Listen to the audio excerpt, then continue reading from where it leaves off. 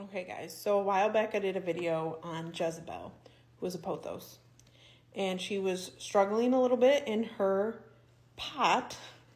So I propagated her and I got two different jars here. And today we are going to repot her.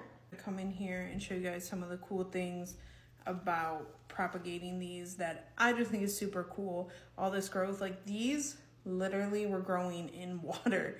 Um, so pothos are so easy to propagate. Um, like this was literally just a stick. It was just a stick that I took from the plant and I put it in water. We got this top leaf here.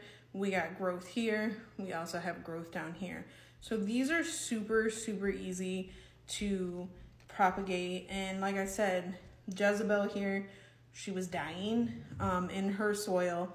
And there were quite a few mistakes I made. She's one of the first plants that I've had, so I had her for a long time. I made quite a bit of mistakes with her, but that's okay.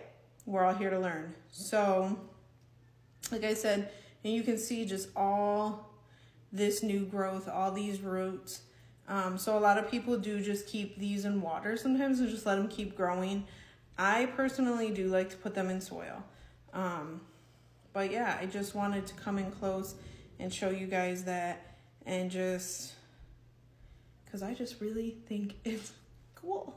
so, so the first thing is, is I'm going to take her out. Now she has a lot of roots here.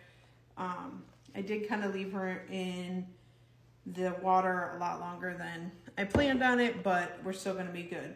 So you see all the roots here. We got a nice big root ball. And I kind of put it down in, this pot's pretty good. Um, I think she'll do fine. If I had a little bit of a smaller one, I would probably put her in that, but this is actually the smallest size that I have right now. So that's what we're gonna work with today. So, set her there. And I'm always gonna put a little bit of dirt at the bottom. Now again, I do make my own potting soil. I kind of mix my own. Um, hopefully one day, once this runs out and I need to make some new stuff, I'll make another video for you guys on that one. So we got soil. We're gonna stick her right on down in there, just like so. Now I am gonna add some worm castings because I just like to add that for a little bit more fertilizer and I'm just gonna add it right on down right by the roots there. Give it a little bit extra fertilizer. Just in that area since we are trans transporting her from the water to the dirt that can be kind of traumatizing. Um, and there's a lot of things that you can do.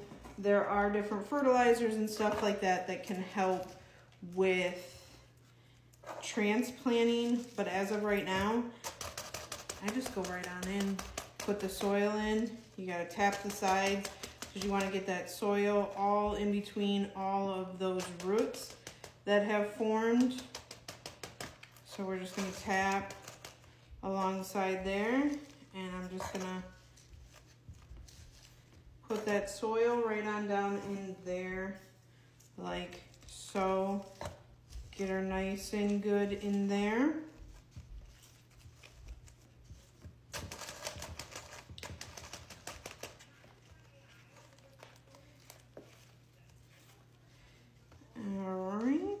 Got her nice and packed in there.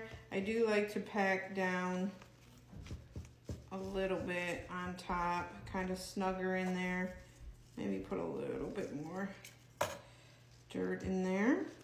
Okay, once you see, we got her all down in there. I don't know if you can see in there. She's all packed nice and tightly. Now, another thing that I like to do some do with some of my, especially vining plants like this, I like to put these little stakes in, especially ones that I'm just now repotting, and kind of tie so they can tie right here.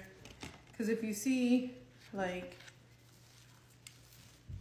here is, here it is before, and then if you were to kind of tie it up, it kind of straightens the pot, or the plant, I should say a little bit, just gets it to stand up a little bit better. And that's just the way I, I like to do it.